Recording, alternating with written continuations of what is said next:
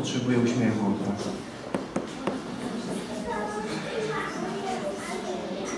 Część druga rozważania, które rozpocząłem tydzień temu. Yy, Wtedy nie wiedziałem, że będzie część druga, dzisiaj wiem. Yy, Pan Bóg pokazał mi pewne rzeczy, które chcę dalej Wam przekazać. Yy, Dzisiejszy tytuł to Śmiertelne uznanie. Pamiętacie, jaki był tytuł tydzień temu? Śmiertelne prawo. Dziś śmiertelne uznanie. Yy, I znowu muszę powiedzieć coś, co pewnie się nie spodoba, bo dzisiaj kolejna grupa osób nie zrozumie tego, co dzisiaj będziemy mówić. A dlaczego? To się wyjaśni później. Śmiertelne uznanie. Pozwólcie, że jeszcze się pomodlę, bo potrzebuję do tego Boga.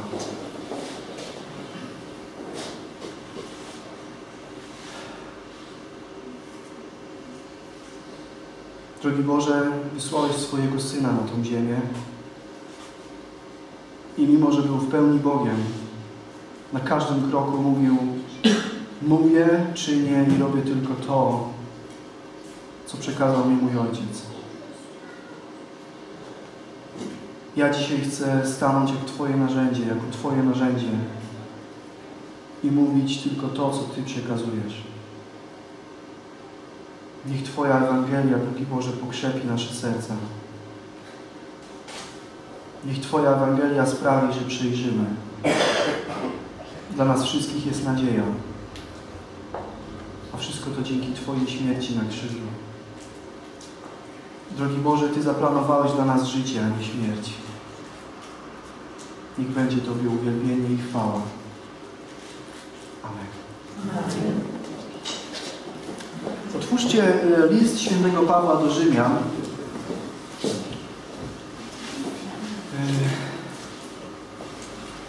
I tam e, rozdział 10 i wiersze 17 i 18. 10 rozdział listu do Rzymian. I czytam. 17-18. Tutaj Paweł pokazuje, z czego rodzi się wiara. I już na samym początku mówi tak. Wiara wtedy jest ze słuchania. Yy, Zgadzacie się z tym, czy nie? Tak. Wiara wtedy jest ze słuchania, a słuchanie przez Słowo Chrystusowe, tak? To, co dostaliśmy, to jest Słowo Chrystusowe, ono jest mówione i z tego się rodzi nasza wiara. Możemy w to wierzyć lub nie. Yy, I Paweł używa słów, które za- zaczerpnął z psalmów. I po tym 17 wierszu, który jeszcze raz przeczytam. Wiara wtedy jest ze słuchania, a słuchanie przez Słowo Chrystusowe pyta, ale mówię, czy nie słyszeli?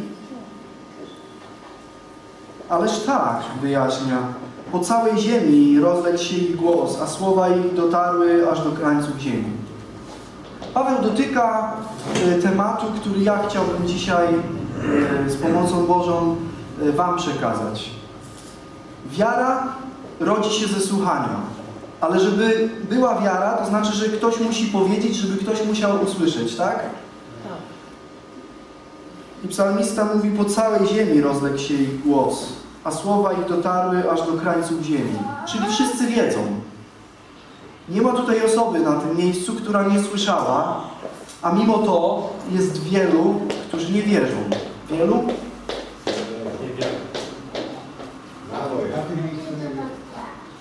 Wszyscy wierzą.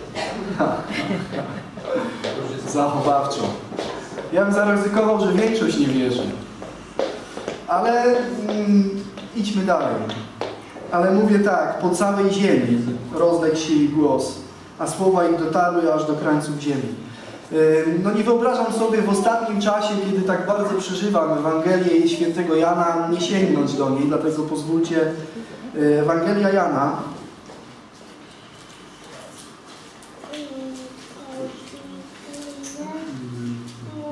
Ewangelia Jana, 12 rozdział.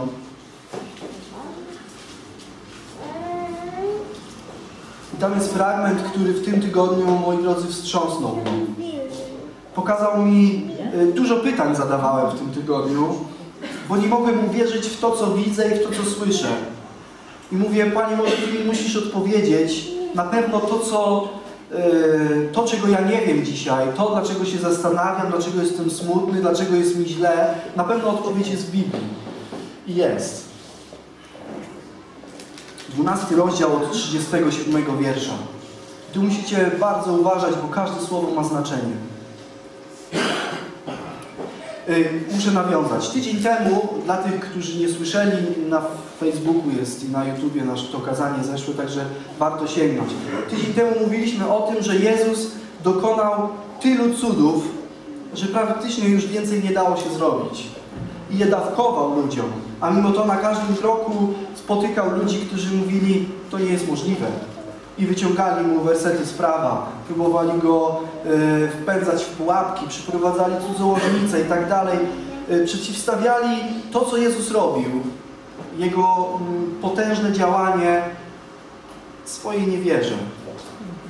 I w pewnym momencie przeczytaliśmy jako punkt kulminacyjny wskrzeszenie z martwych Łazarza. Nie wiem, czy pamiętacie. On wyszedł, prześcieradła zostały zdjęte, bandaże zdjęte, a mimo to była grupa ludzi, która nie wierzyła. I po tym wszystkim Jezus mówi tak. Ym, tak, Jezus mówi tak w Ewangelii Jana. Yy, na zasadzie Jan. Od 37 wiersza. A chociaż tylu cudów dokonał wobec nich, nie wierzyli w Niego aby się wypełniło słowo proroka Izajasza, jakie wypowiedział Panie, któż uwierzy wieści naszej? A komu objawiło się ramię Pana? Dlatego nie mogli uwierzyć, yy, dlatego nie mogli uwierzyć, że znowu rzekł Izajasz. On już to przepowiedział wcześniej. Zaślepił oczy ich, zatwardził serce ich, aby nie widzieli oczyma swymi i nie rozumieli sercem swym i aby się nie nawrócili i żeby ich nie uzdrowił. To powiedział Izajasz, gdyż ujrzał chwałę Jego i mówił o Nim, i mówił o Nim. Tu się zatrzymamy. W naszym życiu yy, od najmniejszych, od najmłodszych lat, od dzieciństwa uczymy się pewnego mechanizmu, który jest pułapką. Uczymy się mechanizmu wybierania, podejmowania decyzji ze względu na czynniki zewnętrzne. Nie wiem, czy kojarzycie e, takie rzeczy. Na przykład jest małe dziecko i ono zostaje wychowane w domu w sposób e, piękny, w sposób taki magiczny, jest chuchane, całowane. Mama i tata wszczepiają najlepsze rzeczy i wystarczy, że pójdzie na dwór i porozmawia z kolegami. I w tym momencie jest tak, dziecko wierzy rodzicom, ale musi coś zrobić, co nie do końca do tego pasuje. I mimo tej wiary robi rzecz, która nie jest zgodna. Czyli na przykład mówią do niego, a chodź przejdziemy przez tą, przez tą ulicę, mimo że on wie, że mama nie pozwalała na to. A po co to robią dzieci? Dlaczego idą tam, gdzie nie powinny iść, mimo że wierzą w to, że tam jest źle? Chcą się. Tak jest. Śmiertelne uznanie. Pamiętajcie tytuł. Patrzymy na to, co jest dookoła. Rówieśnicy nam mówią, co ty tego nie zrobisz i mimo, że wierzysz, że to jest złe, robisz to, przechodzisz przez ulicę. Później idziesz do szkoły i ktoś ci daje, nie wiem co, no papierosa do buzi. Mimo, że wiesz, że to jest złe, to to robisz, bo inni cię odtrącą. Później idziesz do szkoły, którą y, warto wybrać, bo inni tam idą. Później idziesz do pracy i w pracy zachowujesz się tak, żeby ci, którzy są wokoło ciebie, uznawali ciebie za fajnego człowieka. Czasami podejmujesz nawet działania, które nie pasują do, twego, do tego, w co wierzysz, ale tylko po to, żeby im się przypodobać.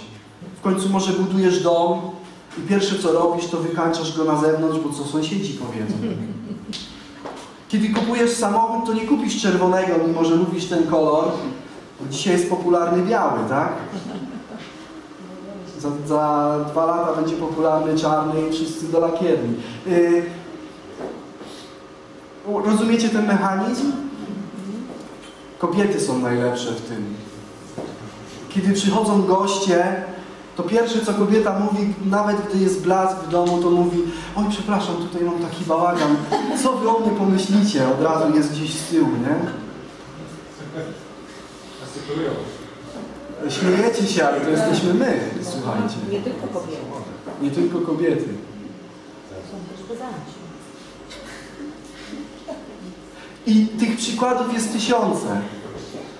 Jeśli chodzi o ubiór, o wygląd, o to, co mówicie, jak się zachowujecie, gdzie chodzicie, gdzie nie chodzicie, wszystko, nawet jak wybieracie to do ostatniej literki, jest zawsze coś, co robicie, dlatego że inni na was patrzą. Wracamy do Ewangelii Jana. Paweł zacytował to, co powiedział Izajasz, jeszcze raz to przeczytam. Zaślepił ich oczy i zatwardził serca ich, aby nie widzieli oczyma swymi i nie rozumieli sercem swym, i żeby się nie nawrócili, żebym ich nie uzdrowił. To powiedział Izajasz, gdyż ujrzał chwałę Jego i mówił o tym. I teraz uwaga, ten mechanizm. Mimo, patrzcie w Biblię, bo to jest ważne, mimo to jednak wielu członków Tutaj jest słowo rady, ale spróbujcie je na razie skreślić. Mimo to jednak wielu członków uwierzyło y, w Niego i teraz jest ale. Ale gwoli faryzeuszów nie wyznali swojej wiary, żeby nie zostali wyłączeni z synagogi.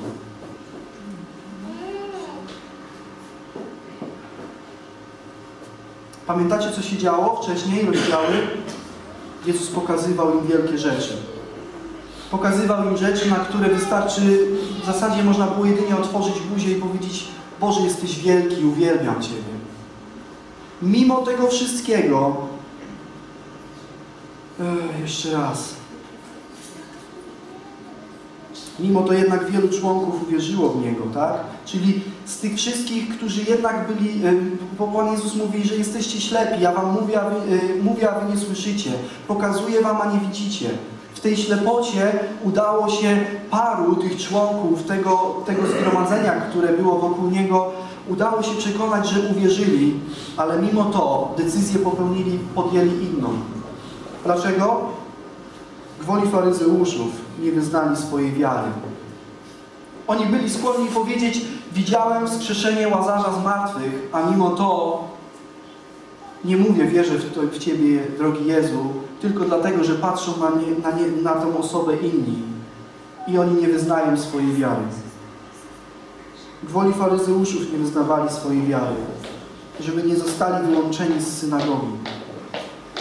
Umiłowali bowiem bardziej chwałę ludzką niż chwałę Bożą. Moi drodzy, my na każdym kroku swojego życia bardziej miłujemy chwałę ludzką niż chwałę, która została nam szczepiona. Dokonujemy wyborów tylko po to, żeby na zewnątrz wyglądać dobrze. Ubieramy się i tak dalej, i tak dalej. I kiedy przychodzi do życia chrześcijańskiego, jako chrześcijanin masz wiele decyzji do podjęcia i zastanów się, dlaczego walczysz z podjęciem tych decyzji. Co sprawia, że od razu nie mówisz tak? Czy czasem to nie są ludzie, którzy was obserwują? Czy czasem to nie jest wasza żona, wasz brat, wasz sąsiad, wasz kolega z ławki w kościele? Ja wiem, że wy wiecie, o jakich decyzjach ja dzisiaj mówię. Bo każdy z nas ma inną. Każdy z nas walczy z innymi rzeczami. A mimo to, mimo tego, że wierzymy, że tak powinniśmy zdecydować, nie decydujemy, bo gwoli faryzeuszów, gwoli sąsiadów i tak dalej, i tak. Otwórzcie dziesiąty rozdział Ewangelii Mateusza.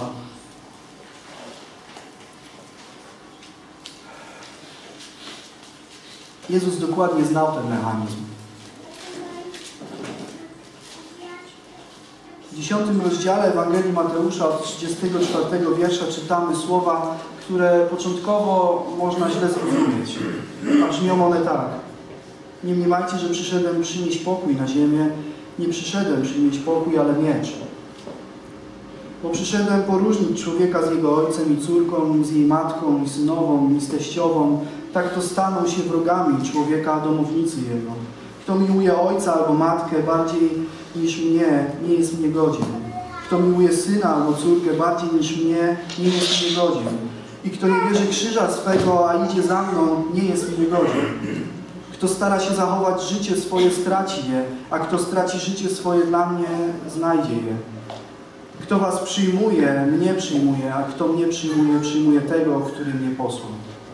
Decyzje jakiekolwiek podejmujecie, pamiętajcie, że przyjmujecie w obliczu Boga, a nie w obliczu ludzi, którzy was otaczają.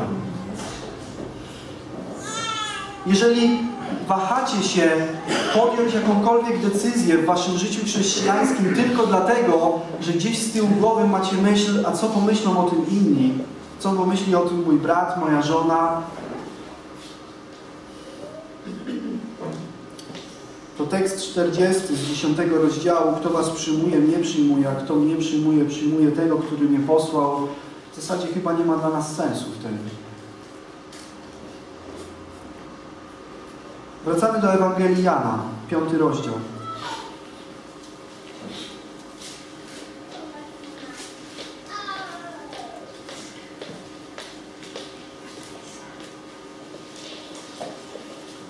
Y, Piąty rozdział i 44 wiersz. 43 jeszcze może najpierw. Jezus chyba tracąc już nadzieję do wszystkich, którzy Go otaczają, mówi takie słowa. Ja przyszedłem w imieniu Ojca mego, a Wy mnie nie przyjęliście. Jeśli kto inny przyjdzie we własnym imieniu, tego przyjmiecie.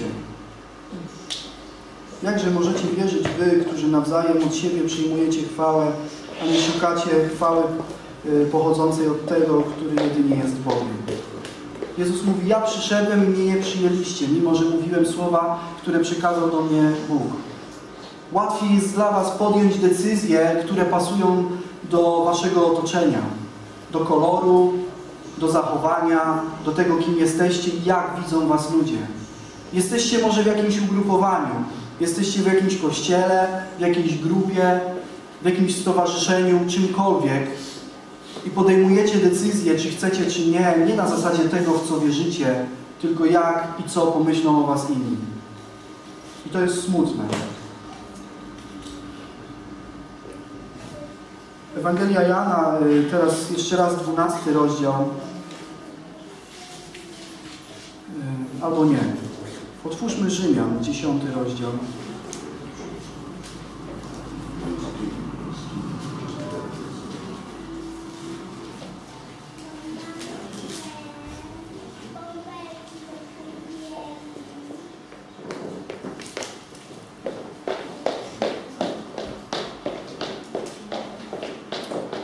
I w 10 rozdziale, w 16 wierszu czytamy tak. Lecz, lecz nie wszyscy dali posłuch dobrej nowinie. Mówił bowiem Izajasz, Panie, któż uwierzy zwiastowanie naszemu? W waszym życiu chrześcijańskim słyszycie różne dziwne rzeczy. Idziecie krok po kroku i napotykacie na nowość. Dowiadujecie się nowych rzeczy. Izajasz pyta, kto już uwierzy zwiastowaniu naszemu? Słyszycie osoby, które mówią w imieniu Bożym, a mimo to przychodzi strach, przychodzi lęk. Dlaczego przychodzi ten strach i dlaczego przychodzi ten lęk? My sobie to na różne sposoby tłumaczymy. Ale jedną z nich, i dam sobie rękę obciąć, jest to, że martwimy się o tym, co ja sam o sobie będę myślał, co będzie myślał o mnie mój kolega, moja koleżanka, mój przyjaciel, zgromadzenie, do którego należę i tak dalej, i tak.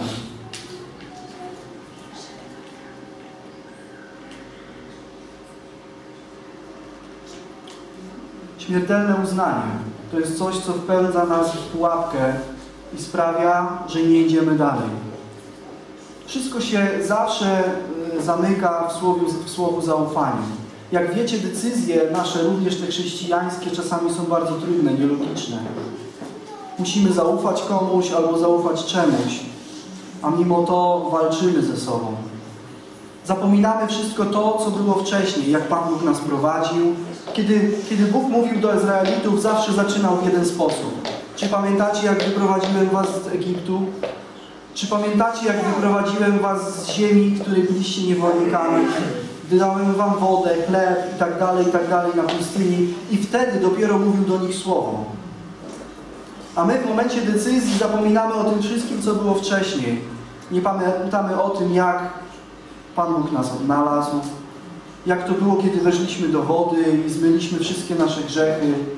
Nie pamiętamy, jak odpowiadał na nasze modlitwy, tylko skupiamy się na sobie, jesteśmy zadufani, a najlepiej to zganiamy jeszcze na to, co jest dookoła nas, bo boimy się podjąć jakąś decyzję.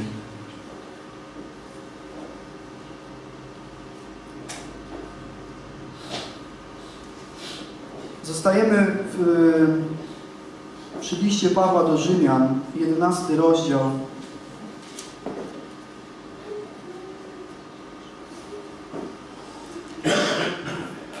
I tam od 13 wiersza jest coś, co słuchajcie, przeczytałem po raz pierwszy w swoim życiu. Mam 31 lat. Jestem w rodzinie chrześcijańskiej od dzieciństwa i nigdy nie słyszałem tego, tego fragmentu Biblii. A najbardziej niesamowite jest to, i przeżyłem to niesamowicie w tym tygodniu. Nie wiem, czy pamiętacie, część z Was słyszała. Walczyłem ostatnio i próbowałem sobie wyobrazić, przyrównać Królestwo Boże, Jego Kościół do czegoś, tak żeby zdobyć tego obraz. I Kościół Boży, Jego Królestwo, nie wiem, czy ktoś z Was kojarzy, przyrównałem do drzewa. Do wielkiego, potężnego drzewa. Z korzeniem, z pniem, z gałęziami. Czytajmy list świętego Pawła do Rzymian. Ciarki mi przechodziły, kiedy czytałem to, co widziałem tutaj. Od 13 wiersza i tu każde słowo jest ważne. Do Was ważne jest, żeby zrozumieć, do kogo mówi Paweł. Paweł kim jest z, z pochodzenia? Jakiej jest narodowości? Żydem jest. Ale jedenasty rozdział rozpoczyna, mówi, ja jestem Izraelitą. I udowadnia dlaczego, bo mówi, że jest z potomstwa Abrahama i z pokolenia Beniamina. I z punktu widzenia Izraelity cały rozdział jedenasty jest napisany i od 13 wiersza mówi tak. Do was zaś, którzy jesteście z pogan, czyli spoza Izraela, mówię, skoro już jestem apostołem pogan, służę moją, y, służbę moją chlubnie wykonuję. Może w ten sposób pobudzę do y, zawiści rodaków moich i zbawię ich, y, i zbawię niektórych z nich. Izraelici są zawistni, bo widzą, że Ewangelia dociera do narodów, które nie są, y, nie są w środku, dookoła. I Paweł mówi, jestem apostołem pogan i mówię i wiem, że to sprawi zawiść w tych, którzy są z pokolenia mojego. Ci, którzy są z Izraelitów. I może dzięki temu, dzięki tej yy, zawiści sprawię, że zostaną zbawieni. Dlaczego? Ci, którzy powinni być, Paweł mówi, że sprawi dopiero, że będą zbawieni. Czytamy dalej. Szesnasty teraz. A jeśli zaczyn jest święty, to i ciasto. Tak? Mówi o tym, że jeśli coś, co, z czego wszystko wychodzi, jest święte, to wszystko, co wrzucimy, może być święte. Przyrównuje to do chleba, do wyrabiania e, ciasta. A jeśli korzeń jest święty, to i gałęzie. I teraz rozpoczyna się o, piękny obraz drzewa. Jeżeli na, zaś niektóre z gałęzi zostały odłamane, jak myślicie, dlaczego niektóre z gałęzi zostały odłamane w tym drzewie? To się zaraz okaże. Niektóre z gałęzi zostały odłamane, a Ty, będąc gałązką z dzikiego drzewu, krzewu oliwnego, zostaniesz na ich miejsce wszczepiony. I stałeś się uczestnikiem korzenia i tłuszczu oliwnego. Jak to przeczytałem, to ciarki przeszły mi po, po, po ciele. Nie wiem, czy kojarzycie, kiedy mówiłem o drzewie, mówiłem o tym, że to drzewo ma potężny korzeń, a w środku w tym drzewie płynie życiodajny płyn, który wzmacnia wszystkie gałęzie. Przyrównałem ten płyn do Ducha Świętego, bo w nim jest siła. Odłama e, niektóre z gałęzi zostały odłamane, a Ty będąc gałązką z dzikiego drzewa oliwnego zostałeś na ich miejsce wszczepiony i stałeś się uczestnikiem korzenia i tłuszczu oliwnego. y, nie wynoś się nad gałęzie, jeśli się chełpisz, to jeśli się chełpisz, to pamiętaj, y, nie ty dźwigasz korzeń, lecz korzeń dźwiga ciebie. Zostaliśmy wszczepieni w organizm jako obcy, z jakiegoś dzikiego krzewu oliwnego, zostaliśmy wszczepieni w gałąź ciała Chrystusowego. Nie chełp się, bo to nie ty nosisz ten, to ciało, tylko to ciało nosi ciebie. Powiesz wtedy, odłamane zostały gałęzie, abym ja mógł być wszczepiony. Słusznie, odłamane zostały z powodu niewiary. Ty zaś trwasz dzięki wierze, zbijaj się w pychę, ale się strzeż. Dlaczego zostały odłamane gałęzie z drzewa? Z powodu Niewiary. niewiary.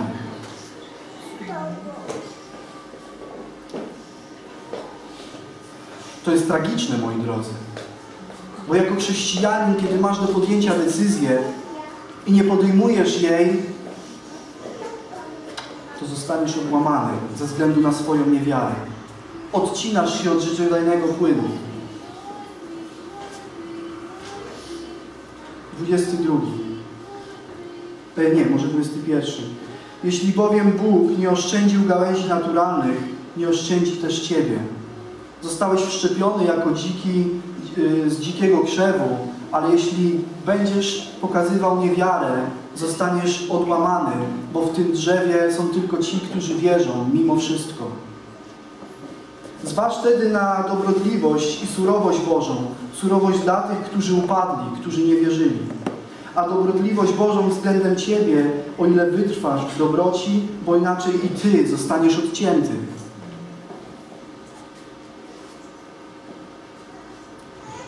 I 24. Bo jeżeli Ty odcięty z dzikiego drzewu, z natury drzewa oliwnego, zostałeś wszczepiony wbrew naturze, szlachetne drzewo oliwne, o ileż pewnie zostaną wszczepieni w swoje drzewo oliwne ci, którzy z natury do niego należą.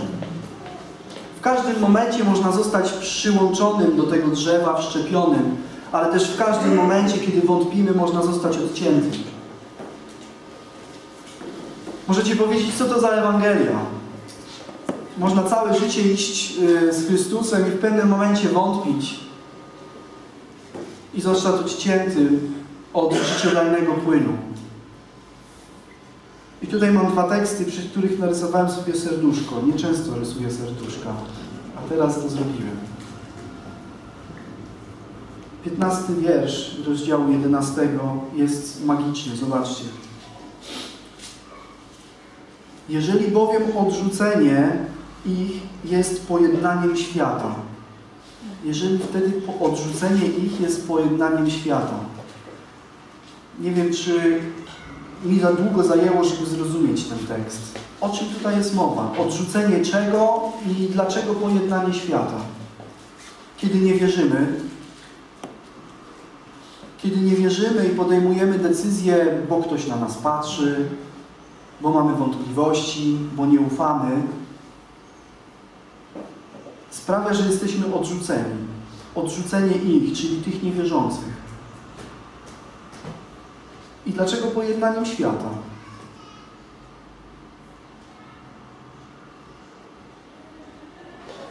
Zostajemy odrzuceni, odcięci od drzewa, ale dzięki naszej wygodnej decyzji mamy pojednanie ze światem, z naszym ojcem, z naszą matką, z sąsiadem, z kolegą w ławce, z kościołem.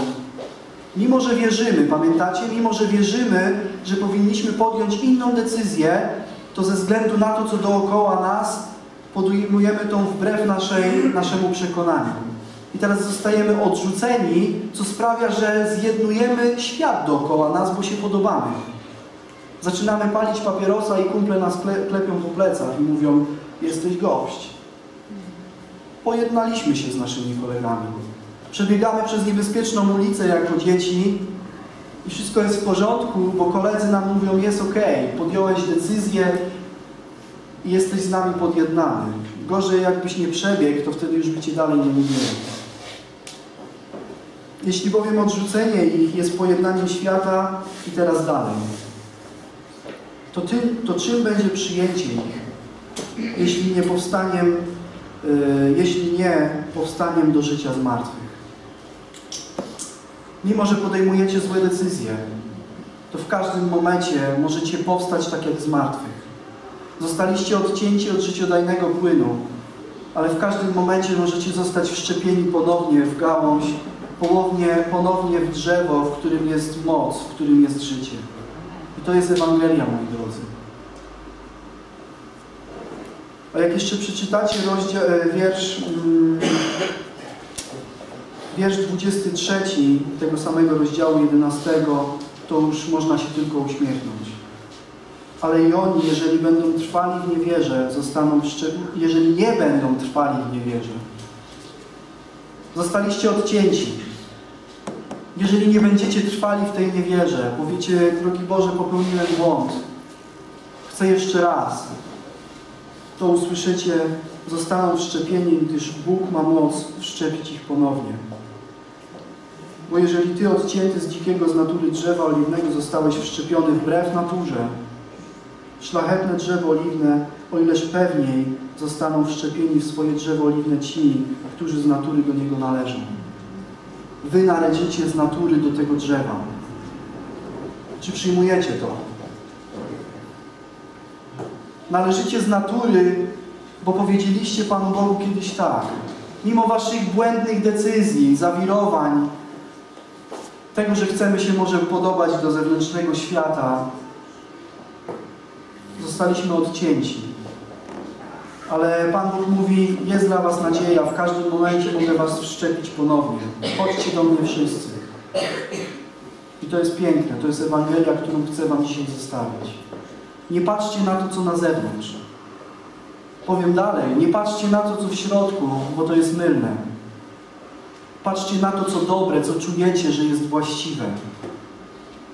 Nie przebiegaj przez niebezpieczną ulicę. Nie daj się namówić, mimo że wiesz, czujesz gdzieś z tyłu głowy, że to jest źle. Nie przypodobuj się swojej żonie, swojemu bratu. Ufaj tylko Bogu. Już na sam koniec Ewangelia Jana. Tym tekstem chcę zakończyć ten cykl tych dwóch nauczań. Można by powiedzieć tak. Nasze decyzje uwarunkowujemy tym, co czujemy w środku. Czasami mówimy, Panie Boże, brakuje mi dowodów. Modlimy się, daj mi znak. Pamiętacie, mówiliśmy o tym, że ludzie widzieli cuda, mimo to nie wierzyli. Często wołamy, drogi Boże, gdybyś Ty tylko mógł do mnie powiedzieć. Mam wątpliwości, ale żebyś Ty tylko mógł dać sygnał jakiś. Kiedy Cię poproszę, spuść chociaż gwiazdkę z nieba. I wtedy mówimy, wtedy uwierzę. Wtedy pójdę za Tobą, mimo że teraz mam wątpliwości. 12 rozdział i 26 wiersz pokazuje całą prawdę o nas ludziach. I czytamy tak. Jezus mówi, jeśli kto chce mi służyć, niech idzie za mną. A gdzie ja jestem, tam i sługa mój będzie. Jeśli kto mnie służy, uczci go Ojciec mój. I 28 mówi tak, Jezus woła, Ojcze, uwielbi imię swoje. Wszyscy ludzie dookoła Jezusa nie wierzyli. Byli ślepi, mimo że widzieli. Byli głusi, mimo że słyszeli. A on w pewnym momencie mówi, Ojcze, uwielbi imię swoje. Odezwał się więc głos z nieba. Wyobrażacie sobie? Stoi tysiąc ludzi i Jezus wnosi głowę do góry i mówi, Ojcze, uwielbi imię swoje. I wtedy odzywa się głos z nieba i mówi tak, i uwielbiłem, i jeszcze uwielbię. Wszyscy powinni uwierzyć, prawda? Lud więc, który stał i słyszał, mówił, zagrzmiało. Inni mówili, anioł do niego przemówił. Dlaczego zawsze są dwie grupy? Głos z nieba się odzywa. Pan Bóg w swoim majestacie mówi, uwielbiłem i jeszcze uwielbię. A ludzie stoją i są ślepi i głusi i mówią, zagrzmiało. Modlimy się o znaki w naszym życiu i kiedy one przychodzą, mówimy, chyba mi się zdawało. Modlimy się o prowadzenie i przychodzi moment, kiedy widzimy to prowadzenie i mówimy, to chyba się zdawało. albo ktoś, kto przynosi to prowadzenie, nie pasuje do naszego wizerunku. Zaczynamy wątpić w Niego, w to, co się stało. Nawet jak spadnie ta gwiazdka z nieba, to mówimy, chyba mi mignęło w oczach tylko. Tylko po to, żeby usprawiedliwić swoją decyzję i tylko po to, żeby wszyscy dookoła nas widzieli nas takimi, jakimi my chcemy, żeby nas widzieli. Zaprzestańcie. Patrzcie tylko na Boga, tylko na Niego. Bo ta ślepota jest na śmierć i ta głuchota jest również na śmierć. Tak jak możecie wpaść w pułapkę prawa, wiecie co się dzieje, kiedy się patrzy na prawo. Widać tylko grzech, a jeżeli widać tylko grzech, to nie zasługuje na zbawienie. A jak nie zasługuje na zbawienie, to śmierć. Jeżeli zależy was na, Wam na tym, co widzą dookoła ludzie, to to jest również pułapka. I usłyszycie w końcu głos Boga i powiecie, chyba zagrzmiało. Każdy z nas może zostać ponownie wszczepiony do gałęzi, do wielkiego organizmu, w którym płynie życiodajny płyn. I z tym Was chcę zostawić. Amen. Ile razy odpowiadamy Panu Bogu, tak Panie wierzę, jesteś Chrystusem, Ty możesz wiele zrobić, ale kiedy przychodzi do objawienia Jego potęgi, my mówimy, ale już minęły cztery dni. W tym grobie już śmierdzi. Nic nie można zrobić.